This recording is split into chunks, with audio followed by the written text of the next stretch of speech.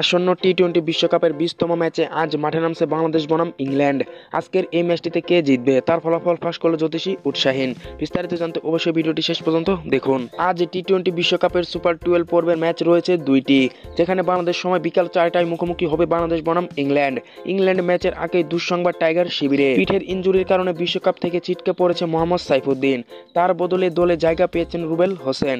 এর আগে কখনো টি টোয়েন্টি ফরম্যাটে ইংল্যান্ডের মুখোমুখি হয়নি বাংলাদেশ। তাই তো বড় চ্যালেঞ্জিং হবে দু দলের জন্যই। বিশ্বকাপ পয়েন্ট টেবিলে শীর্ষ দল এখন ইংল্যান্ড। তাই তো আজকের ম্যাচটি জিতে সেমিফাইনালের পথে আরও এক ধাপ এগিয়ে যেতে চায় ইংল্যান্ড ক্রিকেট দল। প্রথম ম্যাচে শ্রীলঙ্কার বিপক্ষে হেরেছে টাইগাররা তাই তো সেই ম্যাচে সব ধরনের ভুল শুধরে জয়ের আশায় রয়েছে টিম বাংলাদেশ। এদিকে আজকের এই ম্যাচটিতে কে জিতবে? তার ফলাফল ফাঁস করল জ্যোতিষী উৎসাহীন। সেই জ্যোতিষী উৎসাহীনের সামনে বাংলাদেশ ও ইংল্যান্ডের খাবার রাখা হয়। সেখান থেকে জ্যোতিষী উৎসাহীন বাংলাদেশের খাবার গ্রহণ করেন।